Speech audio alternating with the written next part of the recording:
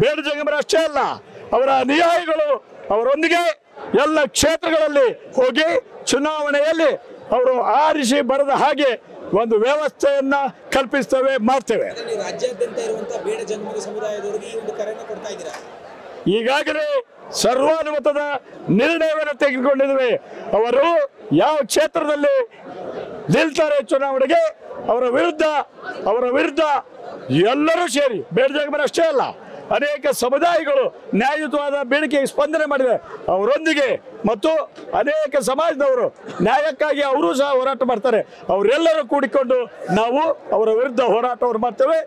ಆಕಸ್ಮಿಕ ಆದೇಶ ಬರದೇ ಇದ್ರೆ ಸರ್ಕಾರದ ವಿರುದ್ಧವೂ ಸಹ, ಯಾಕೆ ಅನಿವಾರ್ಯವಾದ ಈ ಈ ಸಂದರ್ಭವನ್ನ ಅವರು ತರಬಾರದು. ಆದೇಶವನ್ನ ನ್ಯಾಯಯುತವಾದ ಬೇಡಿಕೆಗೆ ಸ್ಪಂದನೆ ಮಾಡಬೇಕು. ಇಲ್ಲದೆ ಹೋದರೆ ಅವರು ಅನುಭವಿಸ್ತಾರೆ.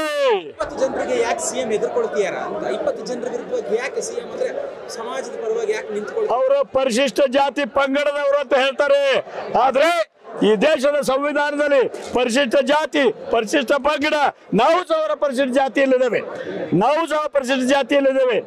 ಇಲ್ಲಿ ಸಂವಿಧಾನದಲ್ಲಿ ಎಲ್ಲರೂ ಸಮಾನರು.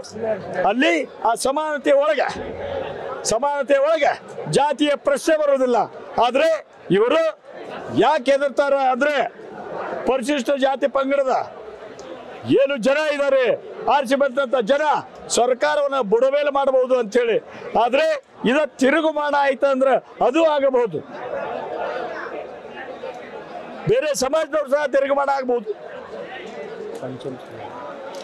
ಈಗ ನಾವು ನಿರ್ಣಯವನ್ನು ಮಾಡಿದ್ವಿ. ಟೂ ಎ ಪಂಚಮಶಾಲಿ ಪಂಚಮಶಾಲಿಯವರಿಗೆ ಸಹಕಾರವನ್ನು ಕೊಡ್ತೇವೆ.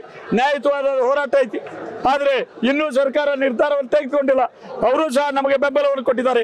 ನಾವು ಸಹ ಅವ್ರ ಬೆಂಬಲ ಆಕಸ್ಮಿಕವಾಗಿ ನಾವು ಎಲ್ಲರೂ ಸೇರಿದ್ರೆ ಕರ್ನಾಟಕದಲ್ಲಿ ಬಿಜೆಪಿ ಬರೋದಿಲ್ಲ ಬರೋದಿಲ್ಲ ಬರೋದಿಲ್ಲ ಅಂತ ಹೇಳಬಯಸ್ತಾನೆ.